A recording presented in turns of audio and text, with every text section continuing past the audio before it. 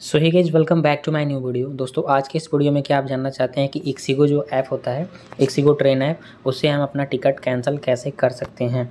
तो चलिए, आज के इस वीडियो में मैं आपको फुल प्रोसेस बताने वाला हूँ।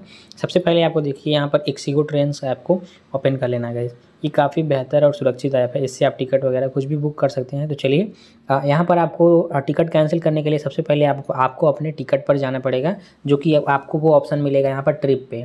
होम पेज पे आप रहेंगे तो ट्रिप्स वाले ऑप्शन पे क्लिक कर दीजिए और यहाँ पर मुझे एक टिकट कैंसिल करना है। तो टिकट पे आप क्लिक कर दीजिए। क्लिक करने के बाद नीचे आएँगे आप तो सीधे आपको दिखेगा एक ऑप्शन कैंसिल टिकट था। तो गई यहाँ पर लिख रहा है, cancellation charge will apply as I R C T rule. तो यहाँ पर आपको कैंसिल टिकट पे क्लिक करना है और यहाँ पर ऑल पे क्लिक करके और यहाँ पर लिख रहा है रिफंड टू ओरिजिनल जिस मोड से आप जो है पेमेंट किए थे गूगल पे फ़ोनपे पेटीएम उसमें डायरेक्ट चला जाएगा पैसा। तो आपको चेक करते रहना है। बारह से चौबीस से छत्तीस घंटे लगते हैं। ओके गेस तो यहाँ पर आपको देखिए टोटल आ, ये मेरा टिकट था चार सौ पैंतालीस रुपये का। एक सौ बीस रुपये कट करके कैंसिलेशन चार्ज है। उसके बाद ये तीन सौ पच्चीस रुपये देगा। उसके बाद प्रोसीड विथ रेगुलर पे हम क्लिक करेंगे। और यहाँ पर कैंसिल नाव पे हम क्लिक कर देते हैं।